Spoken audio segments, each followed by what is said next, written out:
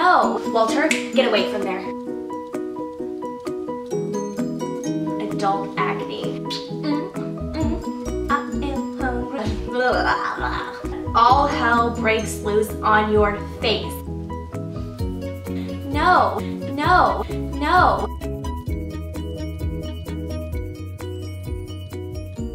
Hey everyone and welcome back to my channel. Today I wanted to talk about something that I have struggled with pretty much my entire adulthood. It's something that's very difficult when it's happening and that is adult acne. I like many of you that struggled with adult acne, became so frustrated because you go through high school, you're totally fine, maybe you get a blemish or two, nothing bad, and then boom, you turn 20 and all hell breaks loose on your face and you can't do anything.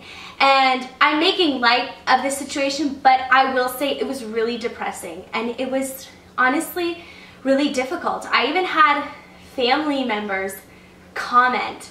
And the frustrating thing is, I'm washing my face twice a day. What do you think I'm doing? I'm just making my face break out because I think it looks good? No, I was frustrated. I was trying everything. This was a really big struggle for me and it was really embarrassing and both my sisters are the type where they never even have to wash their face and they have perfect clear skin and I have really acne prone skin and especially in the midst of it, it just seemed like it would never end.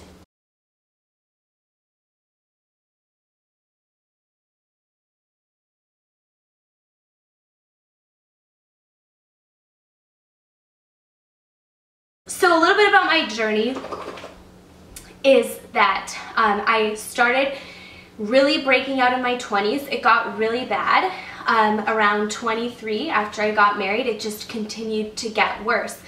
And I hid it really well. A lot of people, you could tell that the surface of my face, there was acne. But the older that I was getting, the redder it was becoming, the more it would cluster and it would become really painful. And I just didn't know what to do. I tried everything. I tried Proactiv, Dermalogica, I tried Clarins,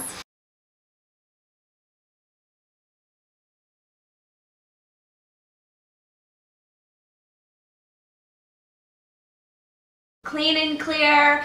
I tried every drugstore brand. I went to Sephora.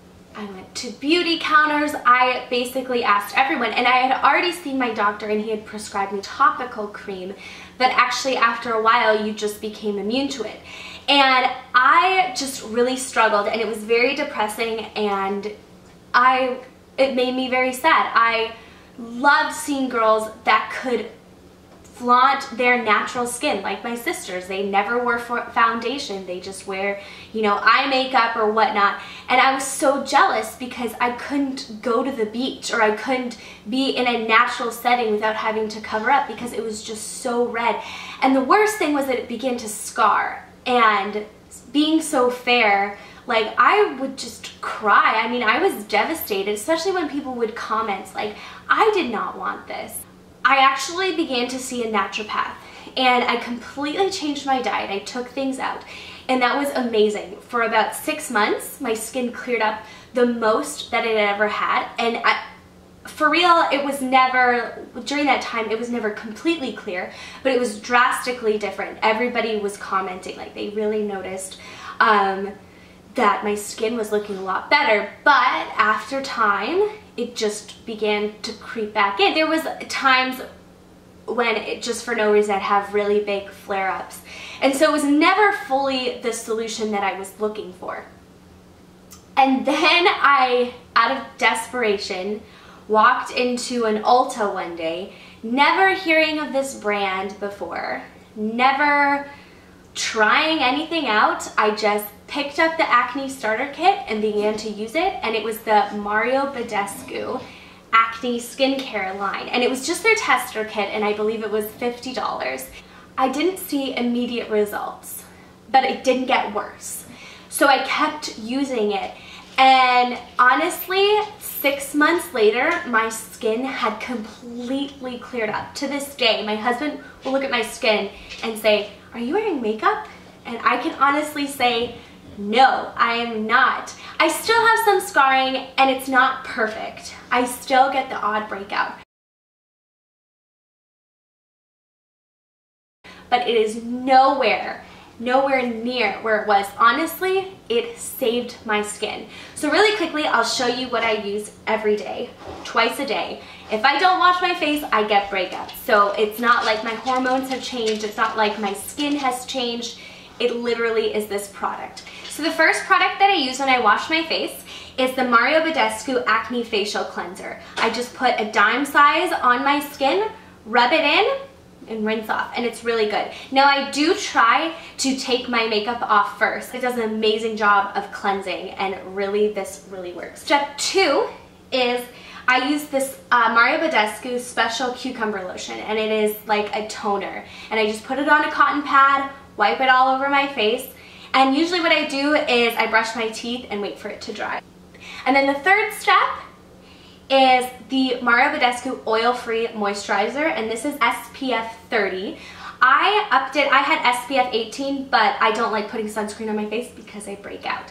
And honestly, I will say once I realized that moisturizer is something that I really need, I had oily skin, so I under moisturized, which meant my body over moisturize, over, overcompensated, and that's why I had oily skin. But once I started moisturizing, game changer. Um, it really has helped even out my skin with the oils and with the breakouts. It's been amazing.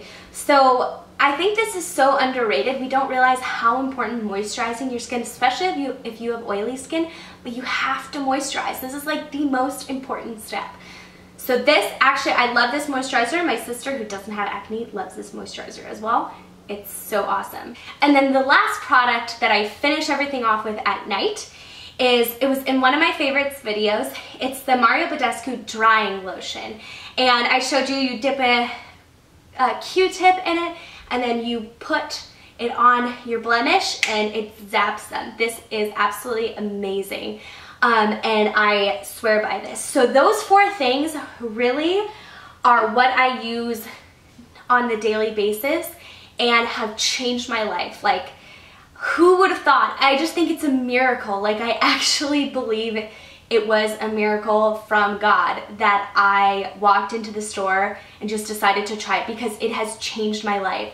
And I've gone days without using it and I will get a full out breakout. So this has really, really, really helped me and I absolutely love it. Now, one last thing that I add, you don't have to do, but sometimes there are days where I wear heavier makeup and I really need a good scrub to get it off. And what I'll do is I'll take a shower so that I can do everything kind of in one step.